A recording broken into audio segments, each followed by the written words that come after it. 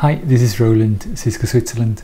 After a little break, um, I would like to start my um, review again of my week or weeks. So, the first thing we did recently was um, supporting a TV show, bringing some virtual audience onto their stage.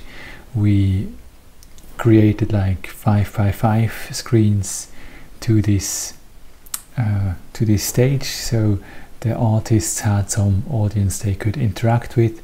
Also we added um, four video endpoints into two different hospitals. So the artists could with live interaction surprise the people the patients in the hospitals. So that was quite a, a good experience and i'm happy to share more. Just let let us know quickly the difference regarding K7 and K9 order IDs.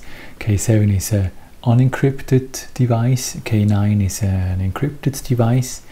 So um, mostly throughout the world we sell the K9 version. So it's also important like when you would like to register the device to the WebEx cloud, it definitely has to be uh, an encrypted version and it's also important to note that we cannot add encryption after the hardware has been bought. So it, it has to be the right hardware from the beginning.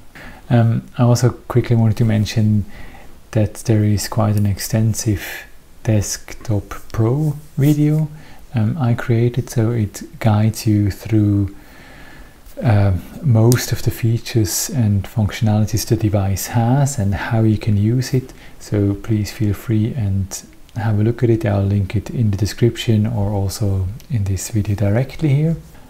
Regarding um, WebEx Room Navigator I wanted to give a quick update. So from this this week on we will deliver the WebEx Room devices, this being like the Room 55, Room 70, Panorama, uh, the Room kits, um, as well as the Room Kit Mini, the WebEx Boards with the new WebEx Navigator, WebEx Room Navigator, um, the codec, so the codec Plus and the codec Pro will follow sometime next month. I would like to refer once more to the API examples we have. So we have a whole like script collection um, of our uh, scripts we can use for in-room control. So please feel free, have a look at them, use them. They're of great value for you and all for your customers. There is a new WebEx Room security guide out there since December.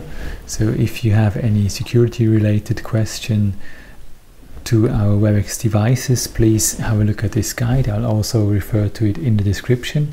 Um, it's quite an extensive one and I'm sure it's helping you for convincing customers that our devices are indeed secure and they're not a security risk. I did have the question for um, like billing codes to use billing codes within the company. So if you have WebEx meetings used within your company and you would like to bill it to certain departments, we have a so-called tracking code in WebEx. It has to be made available from, from our side, so please get in touch with us to, to do so. But this will allow you to have a field the user does not see and you can then use to bill the user or the department based on his billing code. That was it already. Thank you very much for watching. Uh, I hope it was of help and looking forward to see you in my next video. Thank you very much and goodbye.